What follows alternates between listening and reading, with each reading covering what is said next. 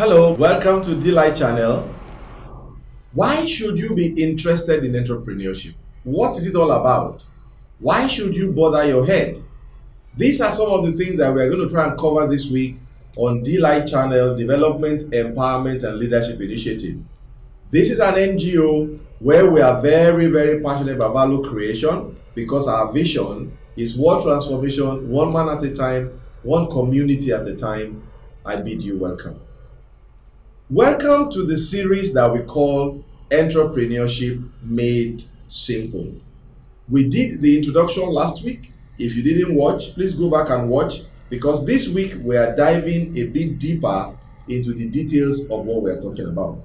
And there is no better point to start than to let you know that this video is speaking to you whether you are an existing entrepreneur, you are an intending entrepreneur, or you are just an individual who, based on the feedback and the training that we've given you in our money management series, has been able to create assets. And from that asset that you have created, you have been able to aggregate sufficient cash. If you remember the journey that we created for you, the first step we said you needed to take is the step of aggregation try to save and aggregate. And when you think you have some material sums of money try and then invest.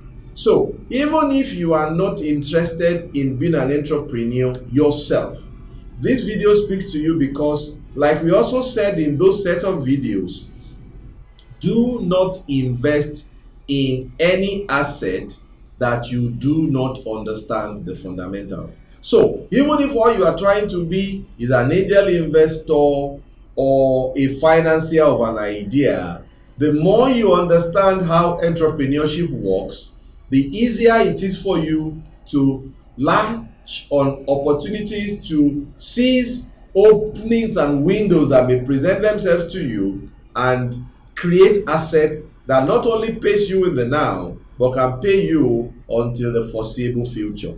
In essence, whoever you are, this video is for you. Let's move on. What is entrepreneurship? Entrepreneurship has its root in a French word called entreprendre. I hope I called it properly. If not, please forgive me. And the meaning in English is one who undertakes and is also used in a bigger French phrase that says celui qui entreprend, meaning those who get things done. And if you trace the etymology of that word in terms of the current and contextual usage, an entrepreneur is defined as somebody who sets up a business, takes on the financial risk, all in the hope of making profit. Again, that same concept has evolved even further to a more altruistic and a more encompassing concept that real entrepreneurship actually goes beyond just money real entrepreneurship speaks about solving problems. And that really is my own definition of entrepreneurship. Entrepreneurship is the ability to identify a problem and find a solution to it in a sustainable manner. Meaning, whether you are doing it for profit or not for profit or a mix of both, whatever you are doing as an entrepreneur, you must be able to do it in a sustainable manner. And that again leads to the next question why entrepreneurship? From the last definition I gave you, the why of entrepreneurship is very clear. Entrepreneurs are the people that create solution. As a matter of fact, we owe the quality of life that we live to entrepreneurs.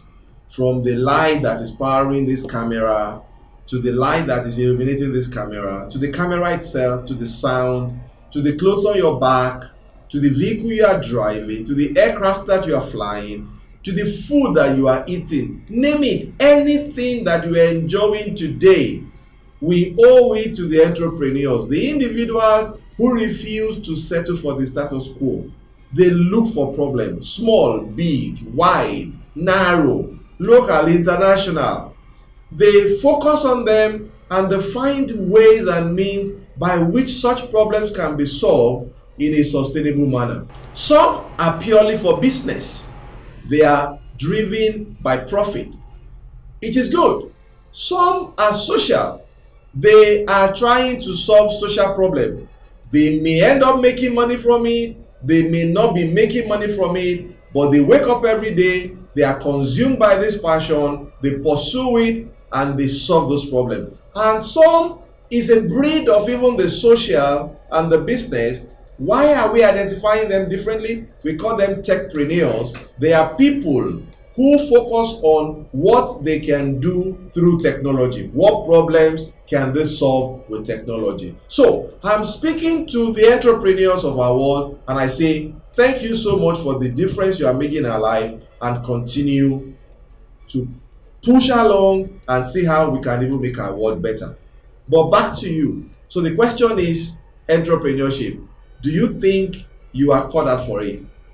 Is everybody an entrepreneur? Can everybody be an active entrepreneur? That is the question we will try to answer in the next episode.